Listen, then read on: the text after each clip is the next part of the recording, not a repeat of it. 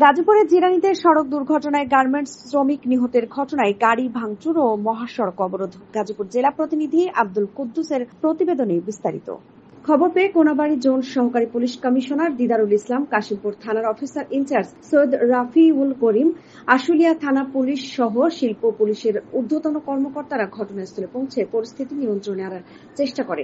এ সময় শ্রমিকরা রাস্তা পার হওয়ার জন্য ফুট ওভারব্রিজ নির্মাণ করার জন্য সংশ্লিষ্ট কর্তৃপক্ষের প্রতি দাবি ও নিহত আলপনার লাশ ময়নাতদন্ত ব্যতি রেখে তার গ্রামের বাড়িতে পৌঁছে দেওয়ার এবং তার দুই কন্যা সন্তানের দায়িত্ব গ্রহণ করার জন্য কারখানা কর্তৃপক্ষের প্রতি আহ্বান জানান।